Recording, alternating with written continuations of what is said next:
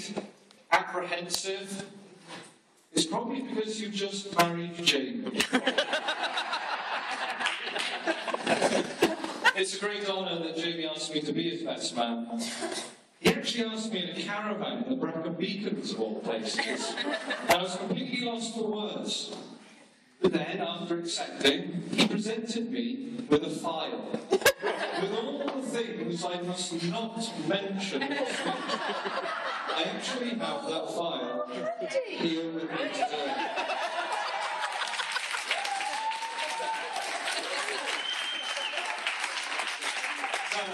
I, I won't actually mention anything in it, but I will leave it in the bar area. May I say, chapter 82 is a very interesting. But in all honesty, um, I was a little bit nervous about doing this speech, uh, so I prepared a few lines, and now that I've snorted them, I must say a better.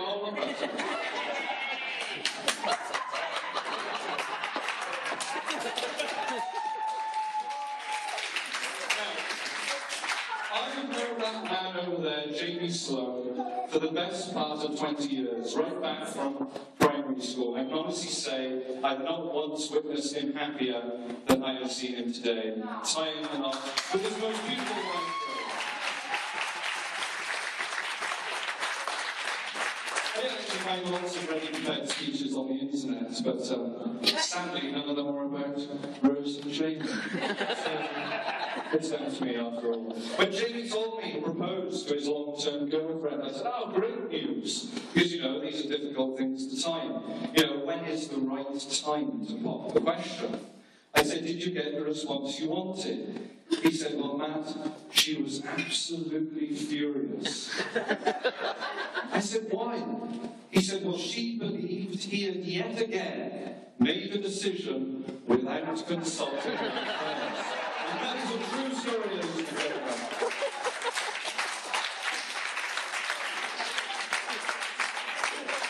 I must say I had the pleasure of visiting Jamie and Rose in Manchester. I think it was autumn 2010.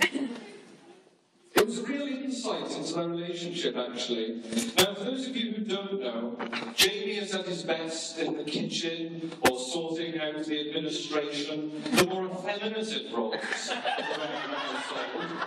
So poor Rose has been left with the task of DIY, changing light bulbs, and all the more hands-on harder graft. But I think in all seriousness, it's right that uh, Rose rules the roost, and she is the one happy to wear the trousers in the relationship. In fact, it was so true of that relationship, I was a little shocked that Jamie, but that Rose, sorry, was at the altar today, waiting for Jamie.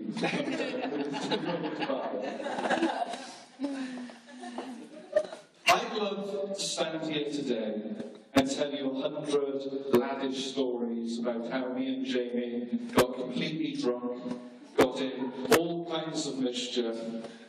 But if I did that, I'd be lying. My friendship with Jamie is not like that in the slightest. In fact, I don't think we could be further away from your stereotypical lads.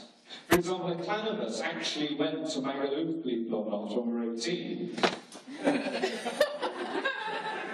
Thanks, Ross. With all the other lads around getting drunk, me, Jamie, Andrew Probert, and Were staying in the hotel room playing pranks on each other. I'll run you through one of these. We researched on the internet before we went to Magaluf that apparently if you dunk someone's hand into warm water while they're asleep, it causes some sort of bizarre reaction in the human body which causes one to urinate in their sleep. So we wanted to find out if this was true. And unfortunately for Jamie, he was the one who fell asleep.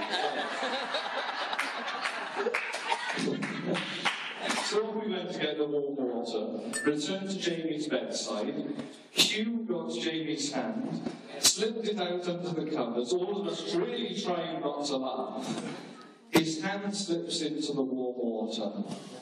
I can tell you now, and gentlemen, this was a complete fa- failure. Jamie's hand got in about three centimetres of that water and came out at about 100 miles an hour, resulting in me, Hugh, and Andrew Probert running out of the room, screaming at the top of our voices as we barricaded the door because we had Jamie running at us and he was livid. Of course, this prank actually resulted in Jamie being one of, in one of the most dreadful moods for the rest of the holiday. In fact, how he got his revenge on us is featured in chapter 62 of The Forbidden Fire, which I'm not allowed to talk about. Jamie and I were very much into our drama, uh, drama and acting when growing up. Uh, we both starred as T-Birds in our local production of Grease. I really feel it must be said that Jamie's acting capabilities really do out that outweigh that of his singing capabilities, which is contrary to the lady who we married today who's nothing short of a professional.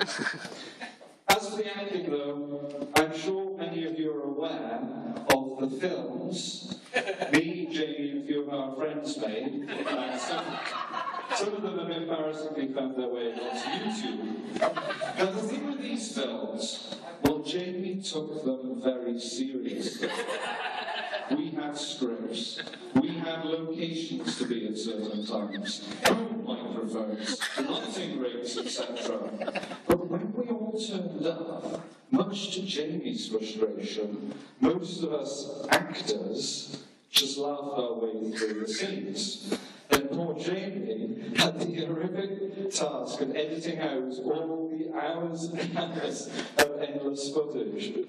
I never forget the time we were filming a scene involving gunfire with the devil in Pomfret We actually got uh, replica guns from our friend James Khan, who's with us today. So these are realistic, very realistic replica guns.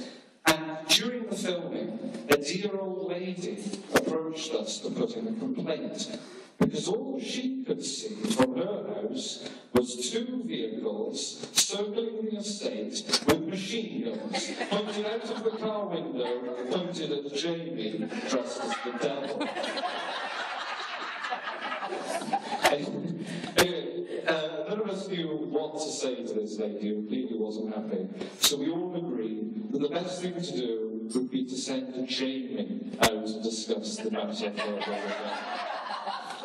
Well, ladies and gentlemen, I can honestly say I've never seen such a surreal moment witnessing Jamie dressed as the devil trying to liaise with this dear old pensioner. I think you said something about us being from the BBC or something. Take you back to the time when Jamie first introduced me to Rose. He presented a young lady in long leather boots from ankle length to upper thigh. She had spikes on her jacket and bright blue hair. Now, I'll be honest with you, I was actually quite terrified. then, after a few hours passed, I built up enough courage to engage in conversation with her. And I became such an eloquent voice. And to my uh, surprise, we spent the rest of the day debating the sociological impact of Gordon Brown stepping down as Prime Minister. A word of advice, ladies and gentlemen, never get into a political debate with Rose, unless, of course, you're comfortable with defeat. Rose is a very clever, witty young lady with a great sense of humour. After all, she married Jamie. I'd like to thank the bridesmaids today, Susie and Holly Sloan. I'd also personally like to thank Rachel Richardson, the maid of honour. Can we have a round of applause, please?